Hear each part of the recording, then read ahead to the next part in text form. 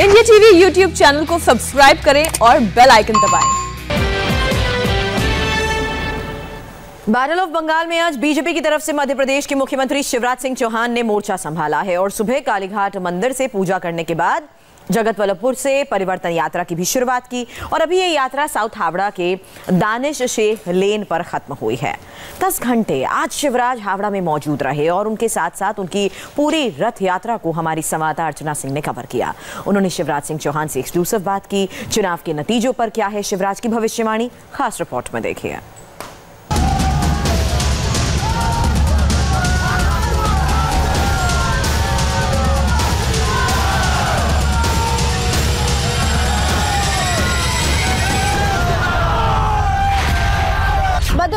मुख्यमंत्री शिवराज सिंह चौहान बीजेपी के कैंपेन के लिए इस वक्त कोलकाता में मौजूद हैं।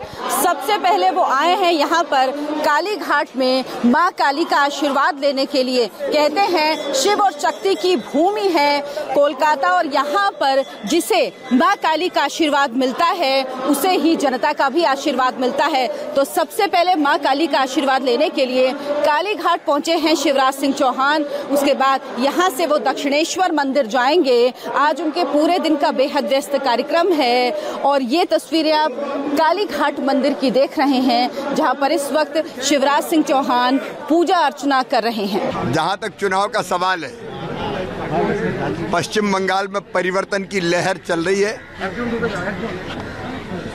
टीएमसी की हिंसा, भ्रष्टाचार, कटमनी, अत्याचार, अन्याय और विशेषकर केंद्र की योजनाओं का लाभ नहीं दिया। टीएमसी का तो नाम हो गया है। तोड़ो, मारो, काटो। रैली की गाड़ियाँ तोड़ी जा रही कार्यकर्ता मारे जा रहे हैं, काटे जा रहे हैं। 130 से ज़्यादा कार्यकर्ताओं ने बलिदान दिया है भारतीय जनता पार्टी के। उनका बलिदान व्यर्थ नहीं जाएगा।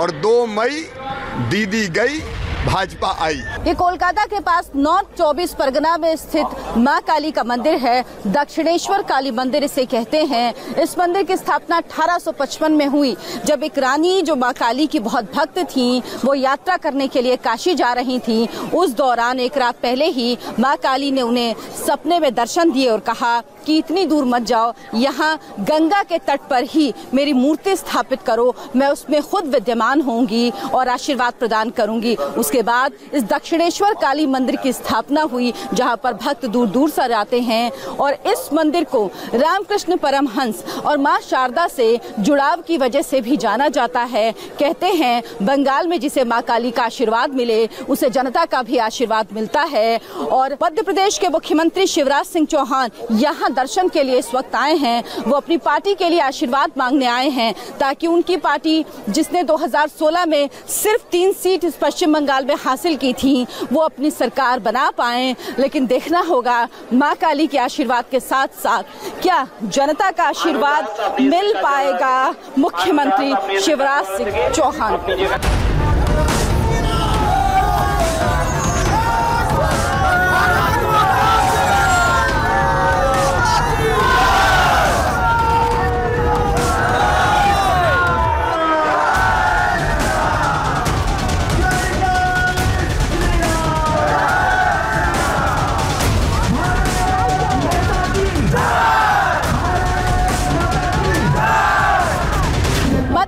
प्रदेश के मुख्यमंत्री शिवराज सिंह चौहान पश्चिम बंगाल में है। दक्षिणेश्वर मंदिर में दर्शन करने के बाद वो जगत बल्लभपुर पहुँचे हैं। यहाँ वो मंच पर मौजूद हैं। उनके साथ टीएमसी से बीजेपी में शामिल हुई। वैशाली डालमिया भी यहाँ पर है। जगत बल्लभपुर हावड़ा में पड़ता है। हावड़ा जो टीएमसी का गढ़ है और जगत वल्लभपुर की विधानसभा सीट भी 2000 से ही टीएमसी के पास है। बीजेपी के लिए बड़ी चुनौती है। टीएमसी के इस गढ़ में चुनौती वो कैसे लगाती है?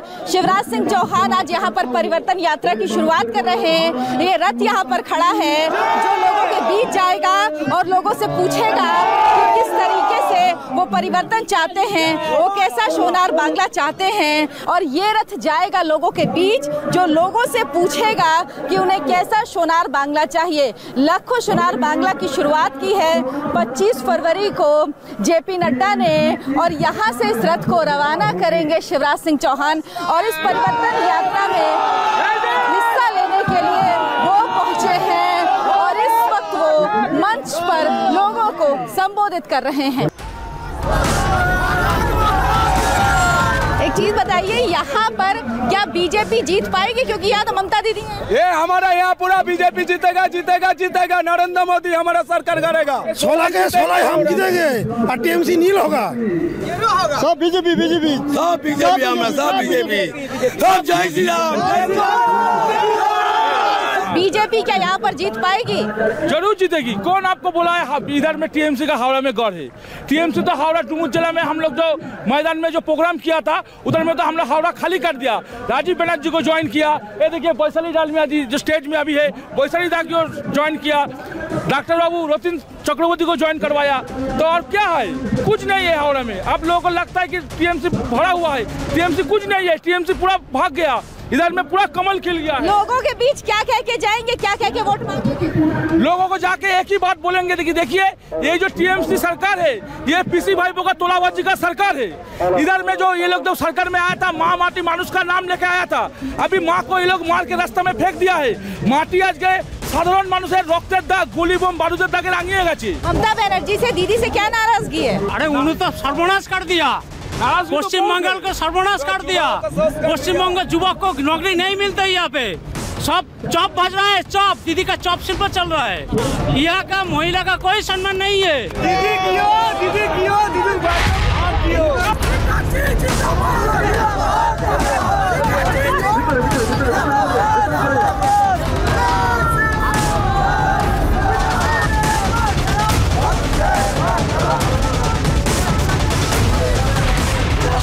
जगत बल्लभपुर से शिवराज सिंह चौहान की परिवर्तन यात्रा निकली और वो पहुँची है यहाँ गुमजोर। हावड़ा बहुत महत्वपूर्ण है बीजेपी के लिए हाड़वा के बाली विधानसभा से वैशाली डालबिया विधायक टीएमसी में थी, टीएमसी छोड़कर बीजेपी में आ गई है और वो इस परिवर्तन यात्रा में शिवराज सिंह चौहान के साथ मौजूद है। ये डुमजुर राजीव बैनर्जी का विधानसभा क्षेत्र है, जो कि टीएमसी छोड़कर बीजेपी में आ चुके हैं। बीजेपी की तरफ़ से कैंपेनिंग कर रहे हैं। इसके अलावा हावड़ा के, हावड़ा उत्तर से लक्ष्मी रतन शुक्ला, जो कि टीएमसी के विधायक हैं, वो भी नाराज़ हैं। हालाँकि वो पार्टी में बने हुए हैं, लेकिन मंत्री पद उन्होंने छोड़ दिया है। इसीलिए ये हावड़ा बेहद महत्वपूर्ण है बीजेपी के लिए। और अब ये परिवर्तन यात्रा बीजेपी की, जिसको चला रहे हैं, जिसके साथ निकले हैं शिवराज सिंह चौहान, वो आगे बढ़ रही है। शिवराज सिंह की परिवर्तन रथ यात्रा निकली है जगत वल्लभपुर से और ये बेगरी पहुँची है। अब यहाँ से ये धूला गोड़ी जाएगी और साउथ हावड़ा में इस यात्रा का समापन होगा। हम इसी यात्रा में साथ चल रहे हैं। आपको दिखा रहे हैं जगह जगह की तस्वीरें। तो आइए, अब इस यात्रा में हम भी बढ़ते हैं आगे।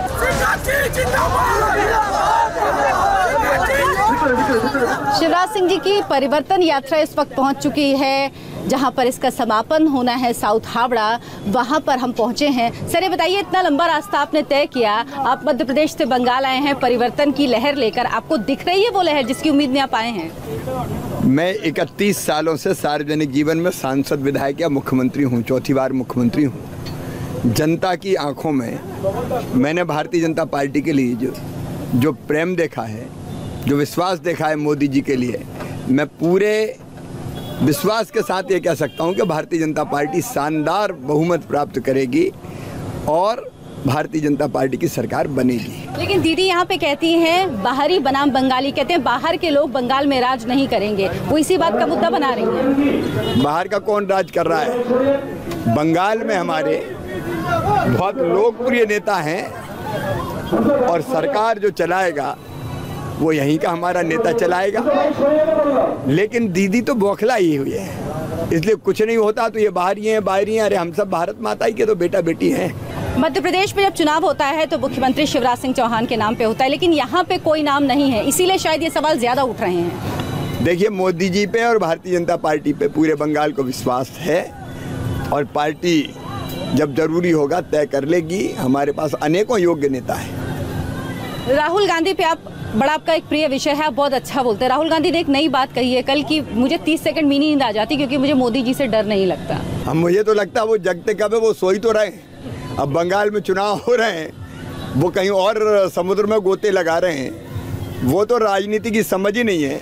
राजनीतिक रूप से तो परमानेंट ही सोए हुए हैं। अब उनको यही पता नहीं था कि मछली वाला विभाग मोदी जी कब का बना चुके, वो नींद से उठे और मांग कर दी, मत्स्य विभाग बनाओ।